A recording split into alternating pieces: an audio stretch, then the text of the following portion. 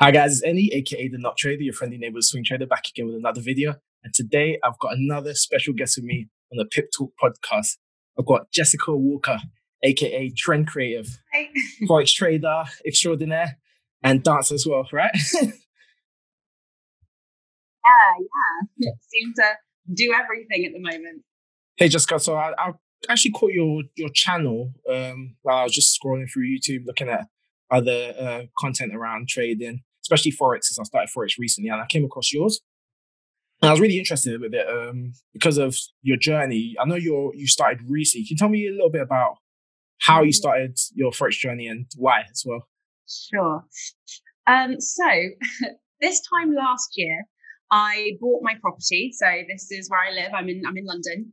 And um, in that same week that I bought this property, my manager at work decided to completely get rid of my job role and made me redundant. Oh, no. So they don't have a digital marketing team anymore. Not sure how they're getting on.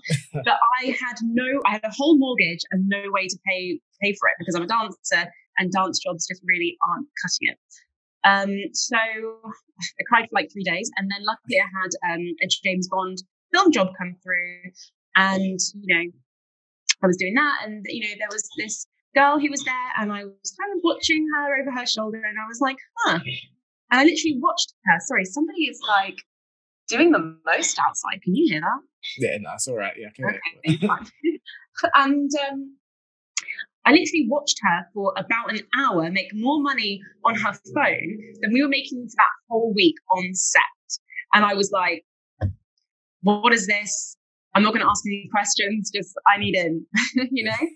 And you know, one of my closest friends, and the rest is history. So um, it's I've just loved my journey ever since, and it's just absolutely changed my life. Is a bit cliche, I think, like, but it's true, and it's just allowed me to have laser focus on what it is I want to do as an artist. You know, whereas before I was very um, I've always been determined, always been a very motivated person. However, I kind of lacked the direction because I knew I had to rely on government funding or, mm. you know, I had to wait for other people to hire me as a dancer.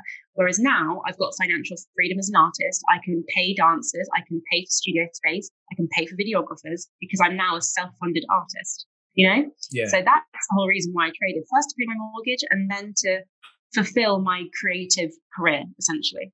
Yeah, it's great the way how trading, once it gives you financial freedom, it also gives you the the leeway to now explore things that you would have done, you wouldn't have time or even the finances to do because you're still on the rat race. So it's great that you've, especially as a creative, I'm sure there's so many endeavors that you wanted to do, but then you always thought oh, as finances was like a hamstring and hamstring in what you wanted to do. So Yeah. from that day that you saw that girl over her shoulder trading to where you're at now, where you're educating people, as I can see from um, some of the webinars that you hold. How was that journey? Obviously, there was there was a there was a learning curve between you le- you seeing someone trade and saying, "Yeah, I want into now being at a place where you could even educate beginners yourself." So tell me a little bit about that journey. You know, uh, my journey was quite rocky in the beginning. Like, I've never, I've never blown an account. Let's put it that way. So I'm quite lucky. I've never, Better me then. Better I've me. never done the things, I've never made the mistakes to to blow a whole account. So I've made all of my money from that first ever initial investment, which which I think is really great. And you know, it's totally possible. However, I did flip flop for like five, three to three to four months. Sorry. Um, you know, I would get to the next boundary of 100 and then I'd go down again. So I kind of flip flop between 200 and 400 pounds for like four months. Very frustrating. And, you know, I was always on the phone to my mentor, like, it's not working. I don't get it, Yeah. you know? Because I also, you know, I thought I was a very intelligent girl. You know, I did like A level maths and things like that. So I thought, I thought that, oh, this is going to be easy. I'm going to be rich in a month. Absolutely not the case. Um, however, I wanted those long term results more than I wanted to quit. Do you know what I mean? Yeah. So 100%. even though it wasn't working, it wasn't working. I was like, I'm going to make this work. I have to make this work, you know? So um, I just kept pushing and kept pushing. And then once I got my consistency, the reason why I flip flopped was because I wasn't consistent, I wasn't disciplined, I was wishy washy, and I wasn't documenting, I wasn't journaling, I wasn't doing self development. Do you know what I mean? Yeah. So once I honed in on all of those things, I then started to see my consistency. I started to see my growth. And then, you know, that was when I started then going onto YouTube and I kind of wanted some inspiration, you know, somebody mm. who maybe looked like me, who was doing well, who I could aspire to be like and maybe learn from. Mm. And I wasn't seeing anyone like that on YouTube. It was mostly like men shouting yeah, and screaming. Yeah, man, you know yeah. I mean? it's like ninety percent men. yeah, I was like, oh, this feels kind of intimidating, yeah. and I've already been doing this for like six months. So yeah, I'm sure there are new people who find this more intimidating, if that makes mm. sense. That's when I started to start my YouTube channel just talk candidly about yeah. the process. And actually, it's not all smoke and mirrors, but it can be if you get there. Do you know what I mean? Mm-mm. And when I started to do education, I like to handhold. I like to handhold during those first, you know, first six months because it's the hardest. It's, yeah. it's horrible. It is horrible. you're, you know, you're scrapping away to try and catch like two pounds. Yeah. It sucks and it's boring. But that is the stage that most people don't get through. So I like to really handhold during that process so that when you do start, you know, when the ball does start rolling, you can then be a bit more independent. Yeah. But it does take a lot of work to get there and a lot of commitment and not just motivation. You know what I mean? Yeah.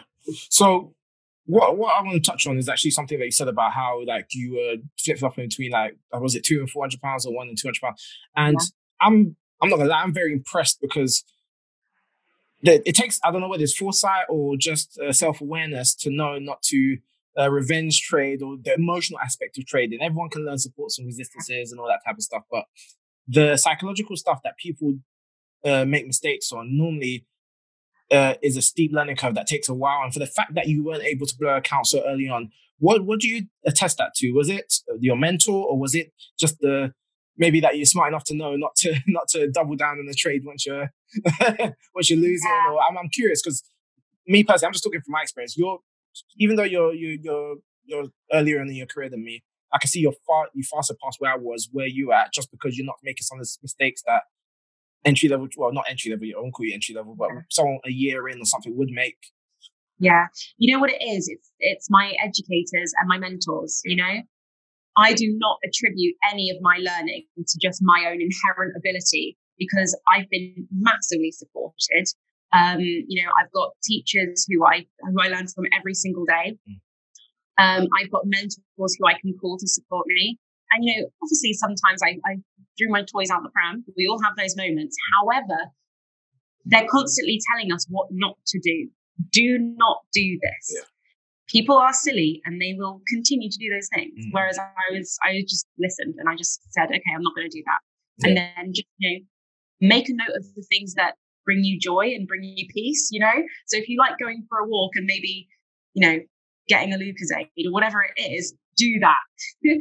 or if you're going to go the other direction, have a glass of wine and go to bed. Do you know what yeah, I mean? Yeah. Don't do it on the charts. Yeah. So that's kind of how I managed.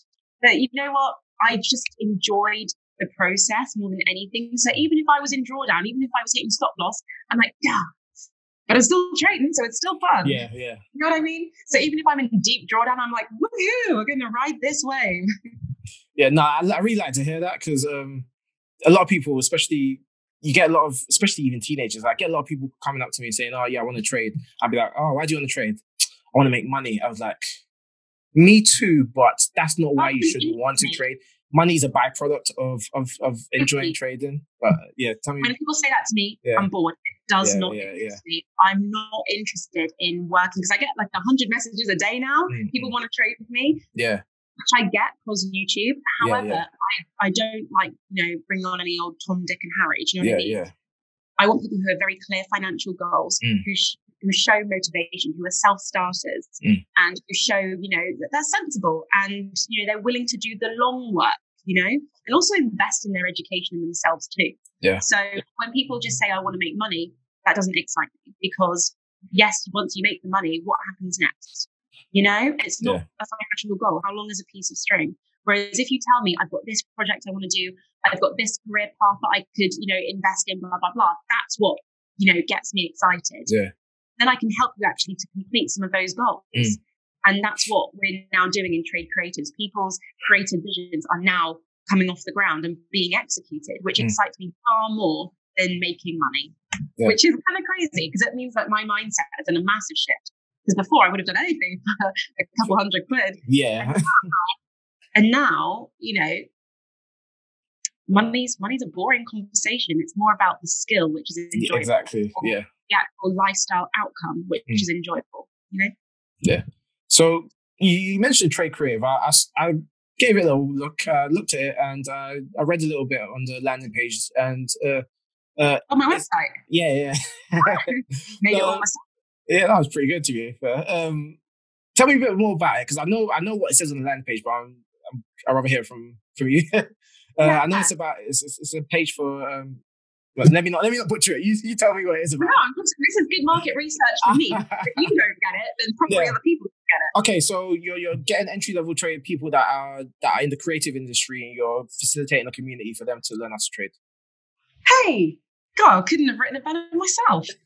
If you can Nice. send that bit of copy over to me, I will, I will, I I invoice you, don't So essentially, yeah, it doesn't make sense to me how there are so many creatives and artists who Mm. are absolutely struggling. Like when my friends Yeah. tell me that, you know, I can't afford food this month, I'm like, Mm. this is not okay, Mm. you know? And throughout school, we are told that if we go down a creative path, that we are not valued economically Mm. and that we essentially deserve to not get any money, which is an absolute bit of bollocks because art makes the world go round. Yeah.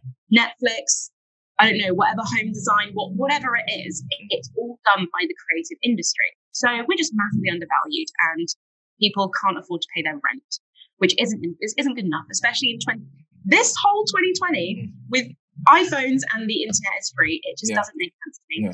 So I'm just seeing like the financial revolution is happening now, and if artists can learn this skill and be able to fund themselves independently and not have to rely on government funding to get their artwork off the ground or have to do, you know, like GoFundMe pages and stuff just to complete their work, that's powerful, you Yeah. know? Definitely. So I really think that we can change, we're changing the way artists are doing things.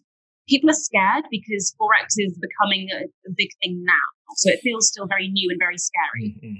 However, I'm a firm believer in the next five years, we're going to see a massive shift in how young people and artists are doing things for Yeah. sure. And I, I'm excited to hopefully be at the forefront of that change. I thought it was just really, uh, really clever the way you brought your two worlds together. You you didn't see them siloed because you saw, okay, I started trading. I'm a creative, and you realize you actually fill the gap. As you said, I know a lot of people that are in the creative industry, and for everyone, I got one friend that's a big actor, and he's making good money, and he's on big Sky TV shows. His name's Sope, Sope Dirisu. Shop. Oh, I don't know. He's in Gangs of New York, Gangs of London. Oh, okay, okay, okay, The main character, um, Elliot. Um, Oh, yeah, yeah, no yeah. It's my mate. Oh. So yeah, I, I, for every one of those, one of him who's doing really well, I know like fifty other people that are on, on the breadline. So Yeah. It really makes sense what you're saying, and I can see see see it blowing up, even if it's in that space alone. Because Mm. as I said, you're you're someone that's from it, and you you're you're you're your own you're your own case study, Yeah, which is which is yeah, it's really clever. So let me ask you a little bit about strategy now. X and O's. What what type of strategies do you use? You don't Uh, need to go into depth, depth, depth, depth. You can, yeah, yeah. be vague about it because obviously we ain't got no charts up or nothing. But Sure. I, I honestly, I am a harmonics trader. Okay, You know, I absolutely love using harmonic strategy and also using Fibonacci. I, like market geometry is just one of my favorite, Yeah. favorite things. Yeah. And it just, trading feels like an art form, you know, doing the analysis and understanding how money moves. And, you know, I always say it feels like you've hacked the matrix Mm. when you can just open the chart and you see boom, boom, boom, there are the yeah, patterns. yeah, You know what I mean? Yeah. That's what feels crazy powerful. Mm. And no one can take that away from you, you know? Yeah. And you know, I always say you don't have to be an amazing trader to make money. No. Just be sensible and Yeah. stick to your personal rules, whatever they may Mm. be. So I like to call it like beans on toast trading. So you don't have to be like a Michelin star chef to eat Yeah. well and have a good life. You can kind of get by okay just by having beans on toast every day, Yeah. right? Of. So exactly the same thing. Just basic beginner strategy. Be consistent, and you can make money with whatever you do with that. You Mm. know, a lot of people just lack consistency. yeah. And also, what I found is that a lot of, especially experienced traders, I was guilty of this a bit at some point where I felt I like to co- complex make it as complex as possible because then it showed like my the intricacies of how it's like you don't get extra points for making it difficult.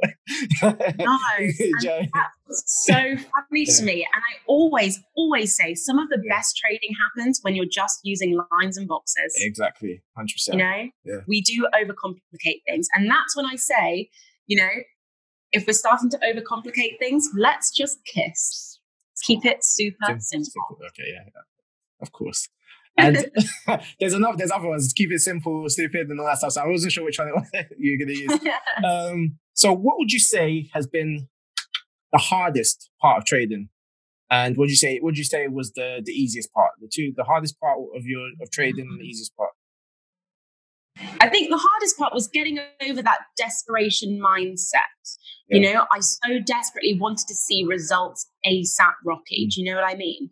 And I would be frustrated how a month would go by, I'm still no different. Another month would go by, I'm still no different. Like, why aren't I getting this? Also, feeling that I wasn't getting it, you know? Um, that I just, you know, the markets had to humble me. Um, I've had big losses, like I've had big losses. That didn't really affect me as much as like the beginning stage, long term stuff. Do you know what I mean? Because a loss is a loss. You can get, you know, have a good sleep and maybe a cry, and you're going to be fine the next yeah. day. You know, But when you're pushing and you're trying and you're trying, and it does feel really hard and it's hard to keep motivated. Mm. That that was possibly the hardest, yeah. hardest part. And um, let me your you said that when you first started, obviously it was because um it was a byproduct of you being furloughed and then was it furloughed or you yeah. lost your job or and then um, you, I was made redundant. Made, sorry, made redundant. Yeah. made redundant. Sorry. was actually all made redundant. Made, made redundant. P forty five. Um, made made redundant. Um, how did you? How were you able to trade with a clear mind? Obviously, I don't delve into your financial situation, knowing that a mortgage payment was was like rearing its because. Yeah. Well, I was, you know what I'm trying I, to say? It's true. And as a dancer, I didn't have very much income at the time. Yeah. I was working like three little safety jobs all at once, as okay, well as so. having like film work and okay. stuff come through. I was very lucky that I actually got some stunt work come through. Okay. So um, that in the stunt, stunt world pays very well. So okay. that was able to support me. Oh. And I just knew that something better was coming. I knew that money was coming to me. Like yeah. that's never been a shadow of a doubt in my mind. Yeah. So the fact that I was having to scrape and suffer and you know work six a.m.s and mm. stuff like that, that didn't bother me because I knew that as long as I continued with this thing, the money was going to come eventually. So. I suppose that was that was the thing, and it was hard, and I was scared. You know, the anxiety was yeah, just crazy. you know. Yeah, and you know, pay, paying for your education, it's expensive. Mm, mm. It is, but you know, if you want to be a good trader, you're going to have to invest in yourself point blank. And the thing that really frustrates me is when people want to learn for free off of YouTube, and that just gives me the heebie-jeebies because they're just risking a lot of their own money. Yeah. See, this is where this is where I think our opinions differ because I think mm. everyone's different. Everyone's different. Me personally, I'm a I'm a I'm a hands-on type of guy. If I would, I don't know whether it's because I'm a cheapskate or because I like doing stuff myself. But if someone says they can build my fence for 100 quid, I'll go on YouTube and I'll make it myself, and I'll make it pretty much as good as the guy that built it for me. Maybe not as obviously he's a carpenter, so he'll do it better, but I can I can make it to a good enough standard if I if you give me enough time. And um, my trading journey, six years. To be honest, maybe the way you did it was better because I I lost quite a bit of money along the way, but but I taught everything I did. I learned myself, and I don't know whether it's because I like to die a thousand deaths just to do everything myself, and I don't want to. uh, or uh, maybe I could expedite the process with a mentor, but um, I think it, you need to know how you learn, and then that can dictate how you want to uh, your journey to go. That wasn't even a question. I just said a statement, but because um, I'm not, I've, I've heard, I've seen your channel. I've seen you speak about how um, it should, you should also, you you say that you should pay for it all the time, and I, I think some people should. I think some people because I know for a fact there's people on my because I got a little forum, a Discord forum, and there's there's 18, 17 year old kids that are better traders than me already, and they they just they just pick it up like that. So it's, it's I think it's like knowing how knowing yourself, being self aware, knowing how what works for you um, as a as a as a as a trader. But yeah, it's more expensive to learn by yourself though. That is true.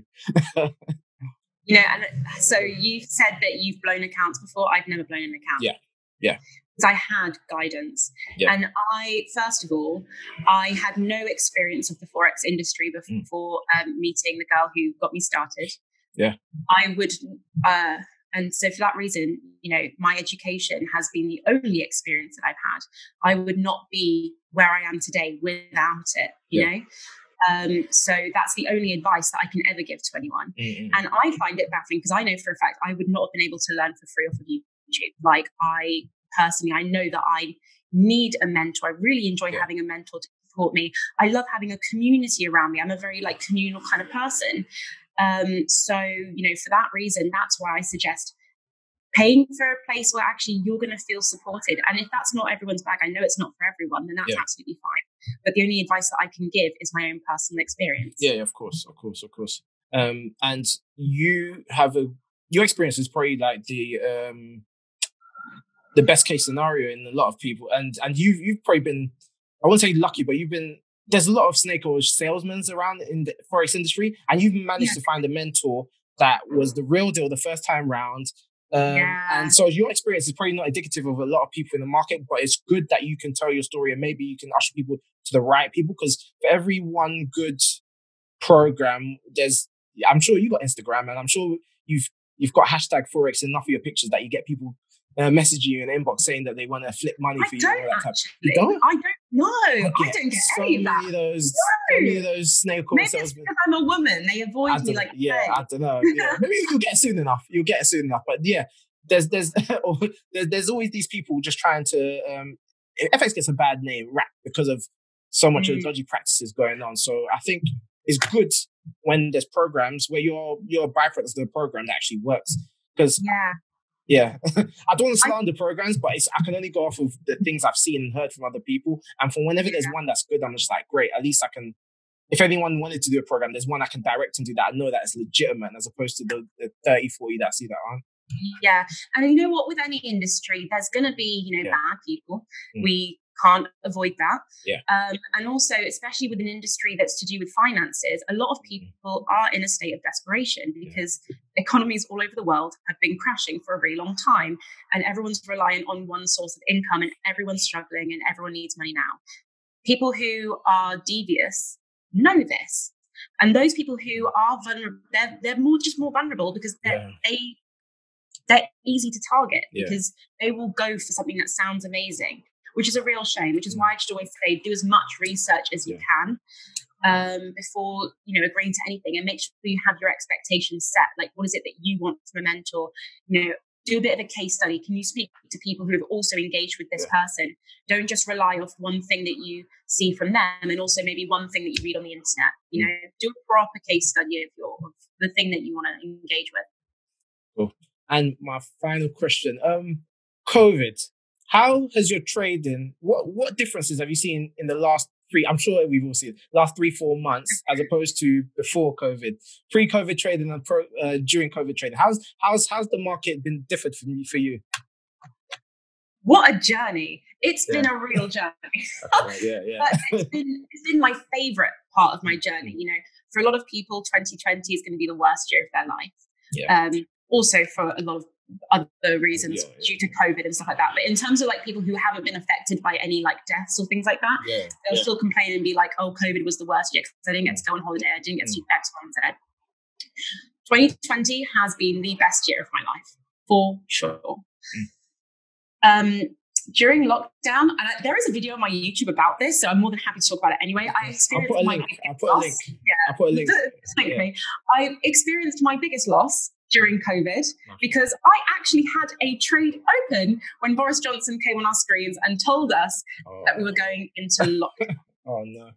And I made a mistake. I made yeah. a massive mistake, right? I forgot to set a stop loss. I'm very open about it. I, oh, yeah. Oh, no. And I very ra- I never oh. trade with stop loss. Murphy's Law. but it's because you know I was I was in my flat and mum was like, "Come home, they're going to start quarantining. You might not get a train home." Blah blah uh-huh. blah. Yeah. So distractions again re- make sure you're not distracted whilst you're yeah. taking trade. Okay. I was in a GBP USD trade and um, uh, literally within the space of about 12 hours, I lost 60% of my account. Wow. Never blew my actual account. I've Yeah. never Yeah. lost my initial capital, you know? So Mm. we have absolutely no reason to cry. If you have a Yeah. stop loss, pick yourself up and move on. Yeah, yeah. Because yeah. Crying about it is not going to help you. Your money's out there. You just got to go back into the market and get it. it. Yeah, yeah, It's just changed hands. It's over Yeah. there. yeah, yeah. So, you know, that was pretty bad. And then, you know what? As a result of that, like reaction, I was up at, I, oh, I remember I was watching the chart all night, hoping and praying that it would turn around. You know, when you wake, you wake up and you fall asleep on the charts with your laptop yeah, yeah, yeah, yeah. and you're having conversations with Jesus and sweating and all that. I then You're rub your eyes. Is that is that red or is that green? No, I can't be. honestly, I started to trade gold, you know, slippery slope. Slip, had to revenge trade afterwards. Yeah, we've. Uh, hmm, yeah, yeah, yeah. revenge trading. I've got a whole series about that. I actually got a video of me recently, like losing a bit of money in a revenge trading and going further down in the hole.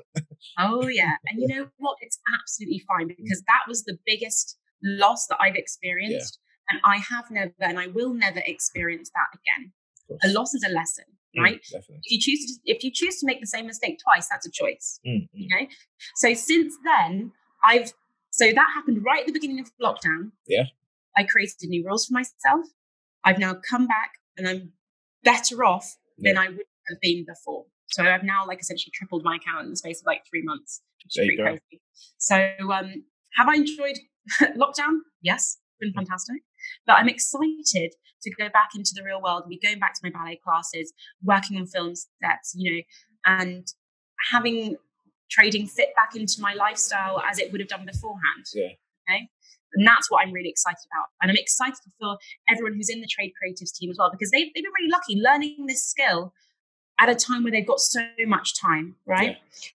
And it's when we go back to normality and they're now having to make it suit and adapt and fit around their lifestyle, that's when it becomes really real. And that's what's pretty exciting for me.